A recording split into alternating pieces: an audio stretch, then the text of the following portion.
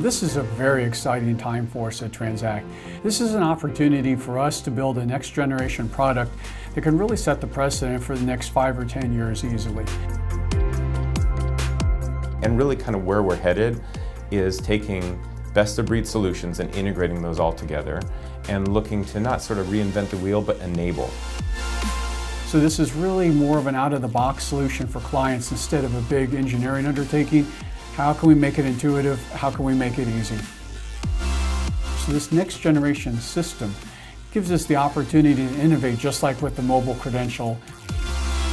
The work that we're doing right now is going to help our clients enable some functionality they never thought was possible.